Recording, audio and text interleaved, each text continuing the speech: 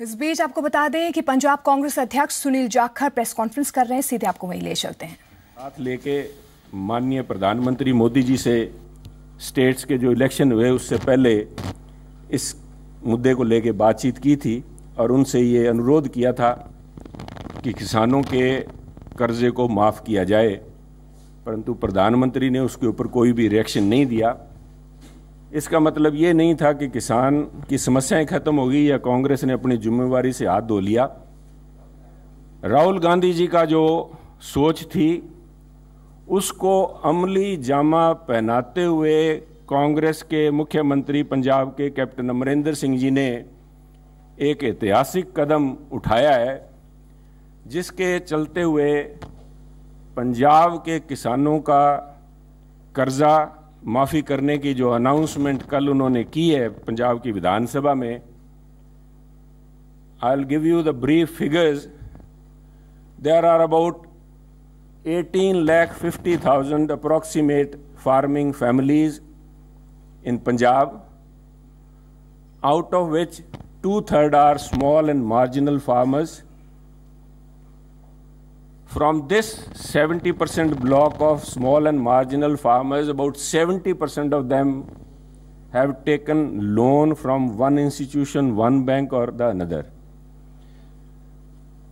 Roughly, it translates to into something like 13 lakh farmers, marginal and small farmers who are under debt. उस 13 lakh small और marginal farmers के कर्जे माफ़ी की तरफ़ ध्यान दे के पंजाब सरकार has taken a path breaking step where for the first time emphasis of our Congress government has not been like we have been taking pride in the fact that we are the largest producers of food grain in the country till now but now our focus has been shifted under the able leadership of Captain Amarinder Singh that now we are going to ensure not highest production target, but we are looking at the most prosperous farmers. And we are going to encourage a sports system which is also taking care of the ecological balance so that the small and marginal farmer can have a sustainable income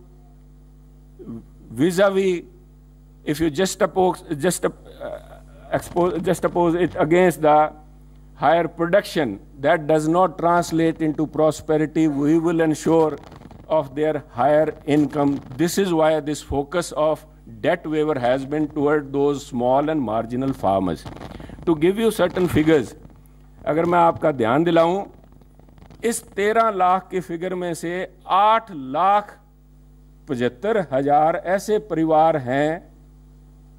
जिनका सारा कर्जा माफ़ कर दिया गया है कल।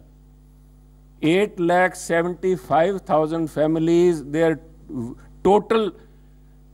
crop loan debt has been waived off. डेढ़ लाख ऐसे किसान हैं, इसी स्मॉल एंड मार्जिनल कैटेगरीज में से जिनका दो लाख तक का कर्जा माफ़ कर दिया गया है। इस तेरह लाख के किसानी आंकड़े में से दस लाख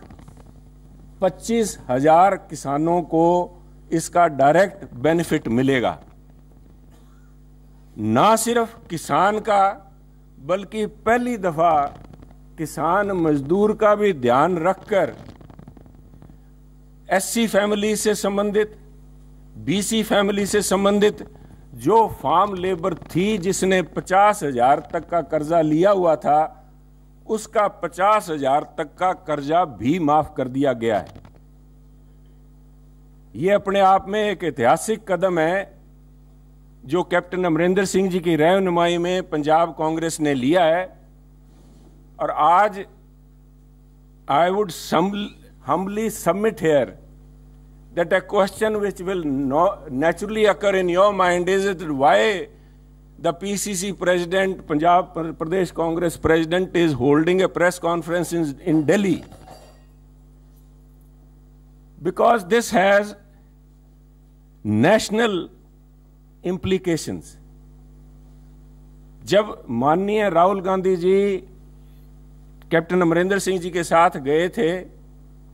तो ये राहुल जी का vision was for across the country it was not limited just to UP or to Punjab or the states going to the poll that time, it was meant for the entire nation. आज ये सवाल उठता है कि जो साधन संपन्न states हैं which are BJP ruled states चाहे वो मध्य प्रदेश है चाहे वो महाराष्ट्र हैं चाहे वो यूपी हैं आज वो क्यों हाथ खींच रहे हैं कर्जा माफ़ी से? अगर पंजाब स्टेट, जो कि which is already constrained as far as financial stress is concern we are a financially stressed state it's no secret दो लाख करोड़ रुपए से फालतू का कर्जा आज आउट गोइंग अकाली बीजेपी सरकार छोड़ के गई है। उन हालात में भी पंजाब ने ये जो कदम उठाया है why this step can not be replicated across the country that is a humble question I would like to ask the NDA government here because किसान, चाहे वो पंजाब में बैठा है, चाहे वो महाराष्ट्र में है, और चाहे वह तमिलनाडु का किसान है, समस्याएँ सबकी एक हैं। उसके लिए आज ये सवाल उठता है कि क्यों एनडीए सरकार अपनी जिम्मेवारी तो दिल्ली से आप पंजाब कांग्रेस अध्यक्ष सुनील जाखड़ को सुन रहे थे जिस तरह से एक बड़ा ऐलान कर्ज माफ़ी का पंजाब सरकार की तरफ़ से किया गया है उसकी ब्रीफिंग यहाँ पर दी जा रही थी और इसके साथ साथ उन्होंने केंद्र सरकार को भी निशाने पर लिया है कि विपरीत हालातों में भी पंजाब सरकार की तरफ़ से एक बड़ा कदम यहाँ पर उठाया गया है।